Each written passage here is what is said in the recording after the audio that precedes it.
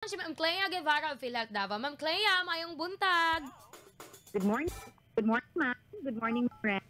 Yes po, thank you ma'am for your time. Diretso ko ma'am, pangutana sa mga Dabuan News karon. Ma'am, kumusta ang operasyon sa PhilHealth Davao? Ah, dinhi partikularmente sa syudad ma- ma- ah, Ma'am Clea. Okay, ana say ipagawas ma'am na advisory, you know, pero nag-advise na punta daan, pinaagi sa tuang official Facebook page, PhilHealth Region 11, na ang atuang mga opisina diri sa Dakbayan sa Davao, apil na diri ang atuang Local Health Insurance Office Davao, atuang PhilHealth Regional Office, diri sa may Vol- ah, Valgosons ah, building, no, Bolton Extension, ug ato ang mga PhilHealth Express offices sa Turil ug Kalinan, kay uh, under work from home arrangement for today Ma'am Ren no in view sa ato ang uh, pro- uh, city proclamation so Mhm.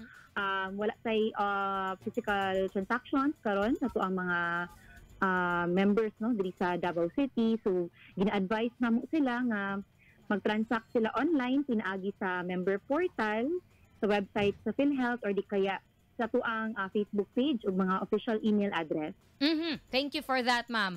Ah, balhin ko sa pangutana karon ni ah, Ingram Kunta. Pwede na ba daw, ma'am, magpa-member, new member daw, ma'am, sa PhilHealth?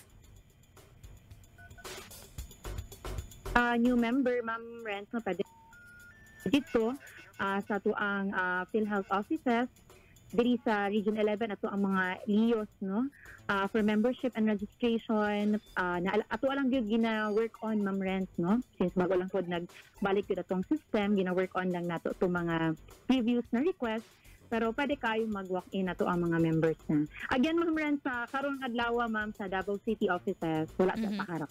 Okay, thank you ma'am sa pagpaklaro kay ah, tama no gikan sila sa City Government o Davao ang klase sa tanang public and private schools unya naka work from home arrangement ang mga opisina sa City Gov. Ma'am, magutan na pod si ah, Juvie Apatan.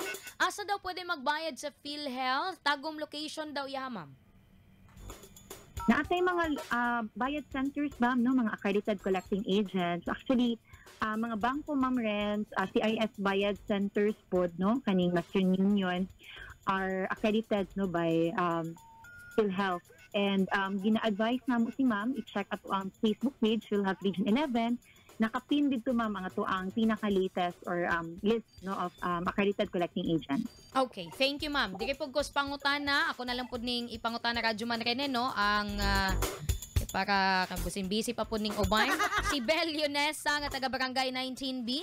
Ah, if pwede ba daw magamit niya ang PhilHealth sa iyang partner kay wala daw siya PhilHealth unya mga nakay daw siya ma'am.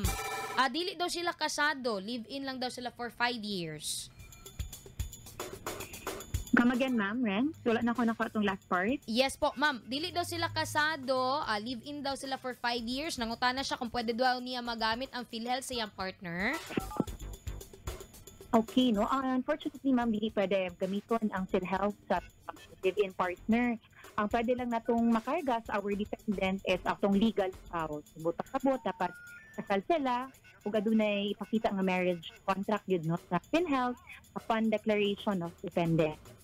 Um, atong advice, anak, ma'am, Ren, magkuha lang yun og separate PhilHealth para ma-avail tong uh, iyang benefit po. Okay, sige ma'am. Thank you ma'am sa pagpaklaro sa pangutana ni Ma'am Bell. Dinhi po ko sa pangutana ni Namisa Abonales nga taga Boulevard Trading. Ah, need ba daw ipa-change status iyang PhilHealth kay single man daw siya sa una karon kay gikasal na siya. Unya unsa pod day mga requirements ug naapod ba day bayad ma'am? Okay. So, kung mag-change ka og status, Ma'am Rent, ah, igo lang ta mo fill up balik no kaniya to ang PF or PhilHealth member registration form attach ta og supporting document so since change siya from single to married kaya na to ang iyang marriage contract and mo niya i-submit sa PhilHealth office para ma-update ang iyang record Mhm. as to the ano man processing ani no libre ni siya wala tay bayaran Thank you, ma'am. Og uh, mao kato ato ang mga pangutana, uh, karong buntaga ma'am gikan sa ato ang mga kasama. Ako lang i-double check na bay mga pangutana sa ato ang streaming. Naapoy follow up daw, ma'am. Kini ba daw ang ID sa PhilHealth? Ah, magamit ba na daw siya as kana ganing ah, primary nga valid ID po? Sa pagkabalo na mo, Ma'am Renz, uh, treated as or identified secondary ID ang PhilHealth ID card for other transactions. No, Mhm. Dili siya official or dili siya PhilHealth uh, transactions mismo. Okay, sige ma'am. Clea, salamat kaayo ma'am. Um, doon na mo yung mga dugang announcements from your office po. Yes, ma'am. Ah, I think, ma'am, na-announce na kanina, no? Ah, work from home arrangement sa ato ang Davao City offices. Pero, again, uh, pwede gapon higit sa pinaagi sa itong online services. And for other local health insurance office, ma'am, outside Davao City, within the Davao region, abri gapon sa mga opisina. At padayon ta, ma'am, nag-remind sa itong members na magbayad sa institutions. Labi na karon ma'am, no? Kaya hapit na mahuman ang fourth quarter So, um, from October to December, ma'am, deadline na to until December 31. Hello ma'am.